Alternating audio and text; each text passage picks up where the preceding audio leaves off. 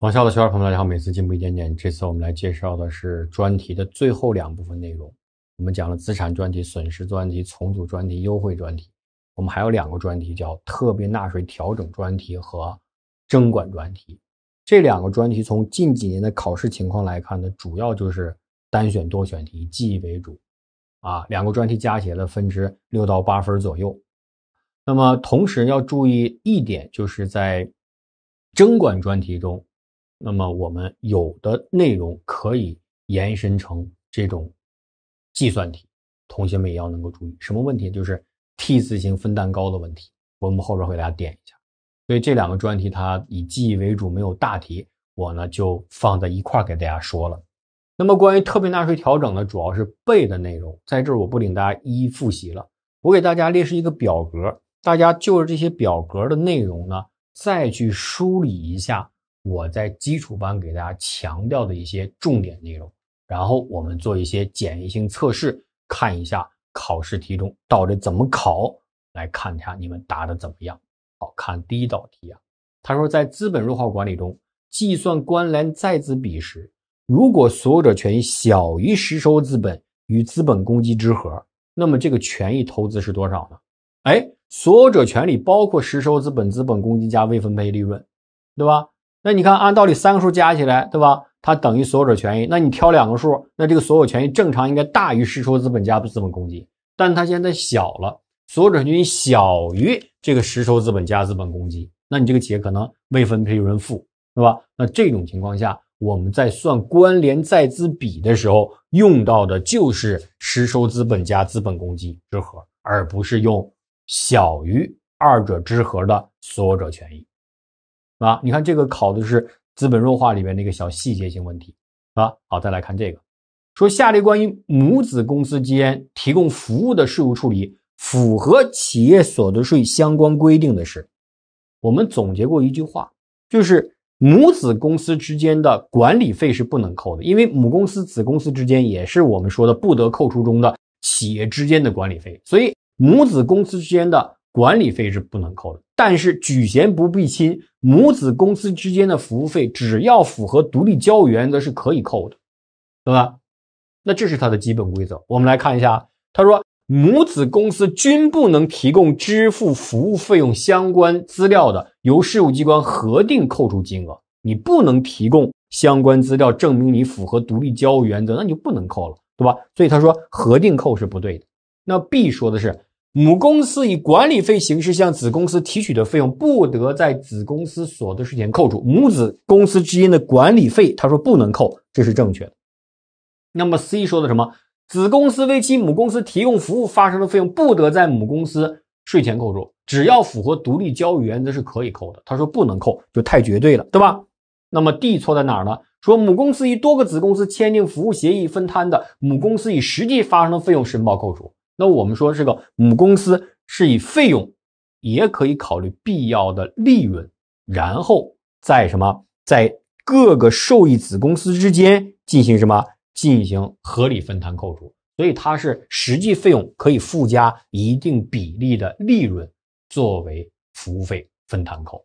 所以正确答案就是什么，就选 B 就可以了，啊，就选 B 就可以了。好，下面我们来看这道题啊。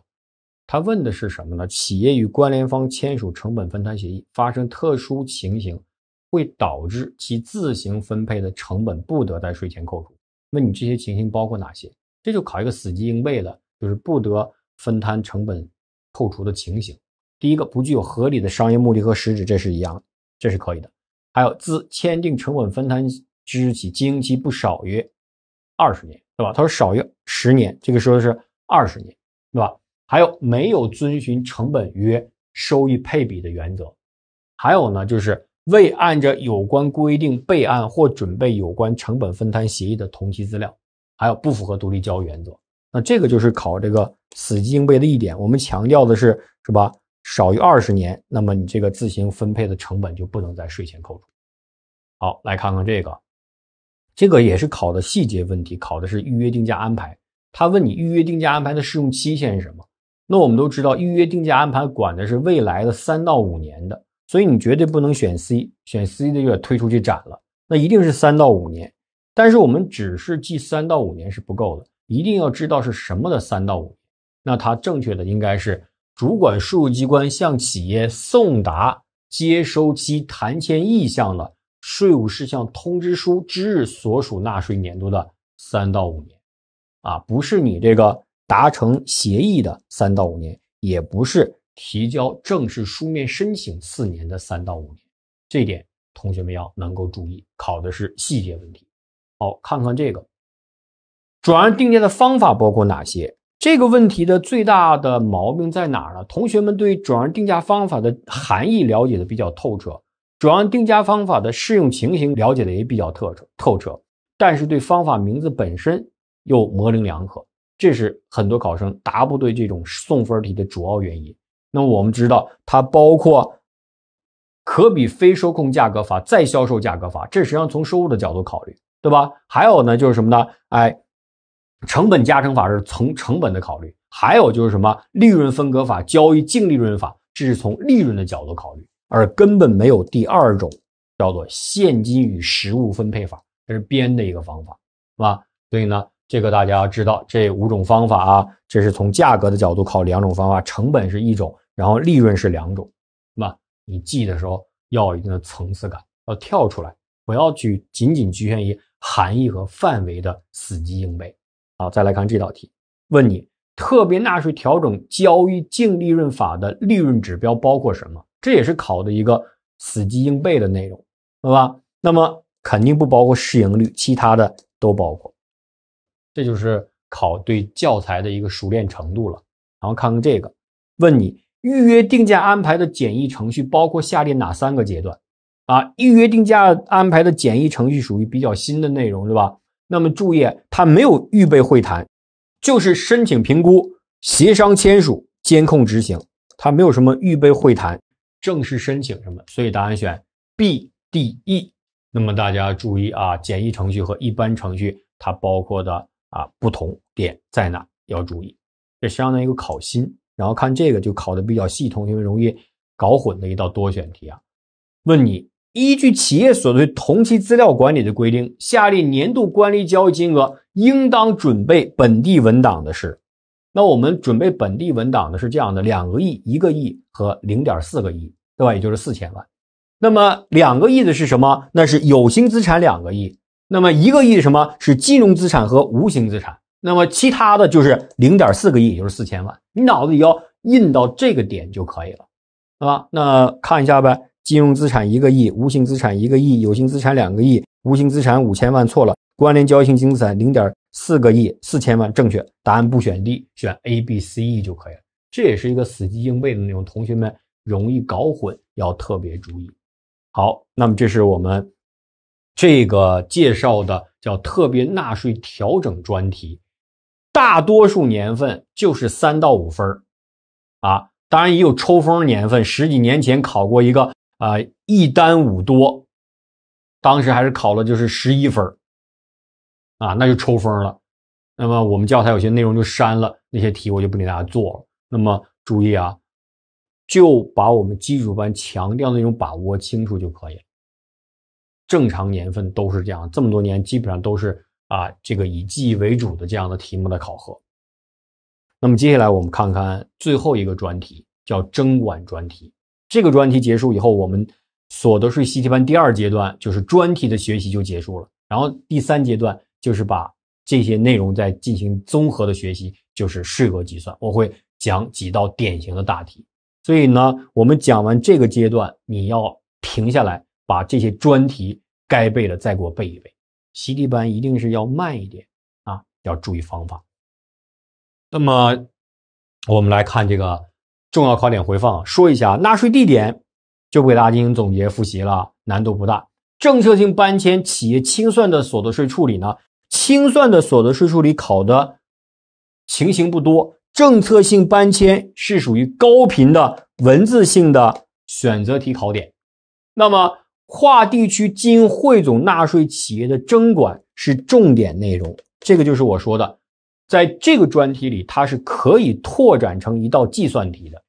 当然，我们的税务师考试没有，但注册会计师考试在十几年前啊，他把这个点就拓展成了一个综合题，所以它就可以编成类似于我们在优惠专题里做的那道什么，围绕着一个加计扣除，它考一个八分的计算题，这都属于这种说某一个文件、某一个知识点拓展性的啊考核，它实际上是送分的啊。这个大家也知道为什么有这个问题，它不是月亮惹的祸，它是汇总纳税惹的祸。你是法人所得税，你总分支机构的汇总纳税。那么这时候就会形成一个蛋糕，那这个蛋糕怎么分呢？那么我们是 T 字形分配，百分之五十、百分之二十五、百分之二十五，这两个百分之二十五不领大家复习了。关键这个百分之五十在各家分支机构之间要分配，那怎么分呢？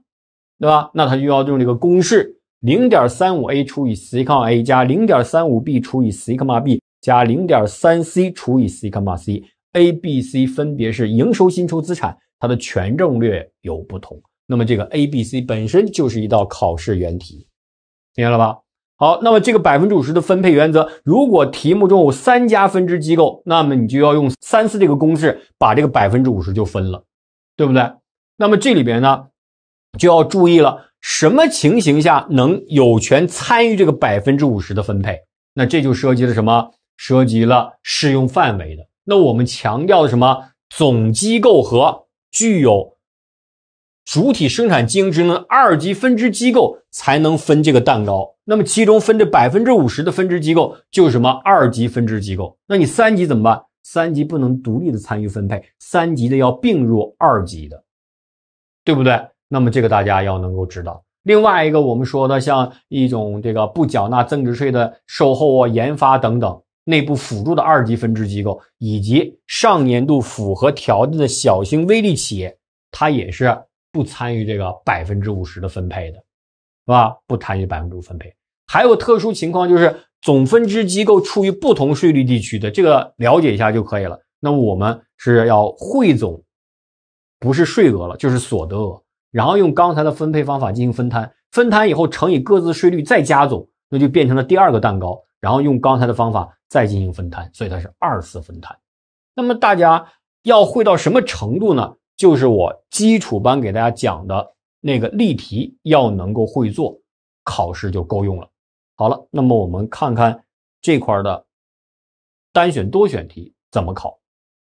看看第一道题，他说总分机构汇总纳税时，一个纳税年度内。总机构首次计算分摊税款时采用的分支机构营收、薪酬、资产数据，与此后经过中国注册会计师确认的数据不一致时，那么这个时候是不用调整的，不做调整。这个结论啊，它变成了一道题。再来看这个，说甲公司五年前以货币资金两百万投资乙公司，获得百分之十的股份。二零二二年，乙公司因故被清算了。那么这个清算完了以后呢，这个他分得的剩余资产是二百六十万。那这二百六十万，大家注意，它也是分三段论，但它要注意跟撤回和减少投资的区别。这个首先要确认为股息所得。那么说，已知乙公司清算净资产总额中未分配利润占百分之十，盈余公积占百分之五。对吧？那这个时候要注意，这个百分之十五，首先要确认为什么？确认为股息所得，所以要减去这个百分之股息所得。然后剩余的部分的话呢，它超过或低于投资成本的部分，确认所得和损失，所以要减去什么？减去这个原来的两百万的投资成本。那么算下来那个二十一万，就是应该确认的应纳税所得额啊。这是要知道你被清算企业分得剩余资产的处理。一个简单的计算，三段论，股息所得，然后跟投资成本进行比较以后，确认啊所得和损失。那接下来我们看看这样一道题：说，二零二二年八月，某商贸公司和张李成立合伙企业，根据企业所得税和个人所得税相关规定，下列关于该合伙企业所得税征管的说法错误的是？那我们知道是要先分后税的，是吧？那么分完以后，你该交所得税的交所得税。那你商贸公司，他说商贸公司需要就合伙所得缴纳企业所得税，这是对的，不选，对吧？他问是错误的嘛，所以不选。B 说的是商贸公司可使用合伙企业的亏损抵减其盈利，这是错误的吧？合伙企业的亏损是不能抵减商贸企业盈利的，所以它是错的，就选就可以了。那么 C 说的是张李需要就合伙所得缴纳个人所得税，分完以后该交企业所得税的商贸企业交企业所得税，张李是个人交个人所得税，这是正确的。那么 D 说的是合伙企业生产经营所得采取先分后税的原则，没错，先分后税，分完以后该交什么交什么，所以答案选 B 就可以了。啊，这是一个小的应用性选择题。接下来看这道题，说关于企业政策性搬迁损失的所得税处理。下列说法正确的是，那这个它有点类似于我们说的那个筹办费，对吧？你可以是什么？可以是一次作为损失扣除，搬迁完成年度，也可以是分三个年度均匀在税前扣除。所以你选 D 就可以了。这个题有点意思，就是你看你能记不记住？那么好多考生都选 B，错，是三年啊，是三年，三年。这个强调一下就可以了，这丢分挺亏的是吧？好，再来看这个，说下列各项收入不属于搬迁收入的是，搬迁收入是因为搬迁所形成的，比如说搬迁安置给你的补偿，这是搬迁收入。那么注意，由于搬迁处置存货取得的收入不属于搬迁收入，而搬迁停产停业形成的损失给你的补偿收入，或者资产搬迁过程遭到毁损取得的保险赔偿收入，都是因。搬迁产生的都属于我们说的搬迁收入的范围，所以答案选 B 就可以了。像这个啊，存货处置这个不作为搬迁收入，多次考核过，必须掌握。好，看一个这个题啊，说 A 公司二零二一年八月终止经营，相关资料如下：全部资产的可变现价值为一亿零七百八十万，资产的计税基础为一亿零两百万，负债的计税基础为五千两百万。共偿还负债五千万，清算过程中支付相关税费一百二十万，支付清算费用两百万。问你这个清算所得是多少？这个其实很简单，相当于你把那个资产一亿零两百万的资产卖了是一亿零七百八十万，这时候有一个五百八十万吧，啊，七百八十万减五百八十万的这个所得，那么同时你还占个便宜，你欠人五千两百万，结果你就还了五千万。占了两百万的便宜，所以要把这两百万加上去，啊，两百万加上，那就变成了变成了七百八十万。然后呢，这个过程中你要扣除这个税费，所以减一百二十万，然后相关费用再减两百万，减这个三百二十万，那就剩四百六十万了。四百六十万乘以百分之二十五就可以了。这是书中那个公式的简单的应用。好，再来看关于一个纳税地点的问题啊。说下列关于非居民企业所得税纳税地点的表述正确的是第一个选项，非居民企业在中国境内设立机构场所的，那就是以机构场所为纳税地点，这是正确的。B 选项如果没有设立机构场所，扣缴义务人所在地为纳税地点，这也是正确的。C，他在中国境内设立机构场所取得的所得跟机构场所没有实际联系的，那这个就是以扣缴义务人所在地为纳税地点。他说的是机构场所，这是错误的。D 说的是，非居民企业在中国境内设立两个或两个以上机构场所的，国家税务总局根据规定确定由其主要机构场所汇总缴纳企业所得税。这个事儿吧，最坑爹了。如果这道题啊不告诉你 E 选项，很多考生肯定选这个。但是呢，他一看 E 选项就知道 D 选项不对了。为什么说他坑爹呢？因为你看国家税务总局什么规定确定什么，哎，这个事儿太细了。总局能管过来吗？管不过来。我们的规定是，只要符合主管税务机关规定条件的，就是可以什么选择由主要的机构场所汇总纳税。所以这个不是由总局管的。所以正确答案是 A、B、E，而不是 A、B、D。啊，这个大家要注意。好，再来看这个题啊，也是跟搬迁有关的。问你企业取得的下列收入属于？政策性搬迁收入的是 A，搬迁处置存货，这个单选题练过了吧？这个不属于。那么像安置给予的补偿属于，搬迁过程中毁损资产的保险赔款属于，被征用资产价值的补偿属于，停产停业的损失的补偿属于。所以答案是 B、C、D、E 啊，B、C、D、E。好，那么这样呢，我就把征管专题的内容给大家介绍完了。那么这讲讲的两个专题，特别纳税调整专题、征管专题，以记忆为主啊，大家要重复记忆。还是那句话，截止这堂课为止，我们的第二阶段各个专题的内容就领大家练习到这儿了，不断重复，然后进入下个阶段的学习。我们下次课再见。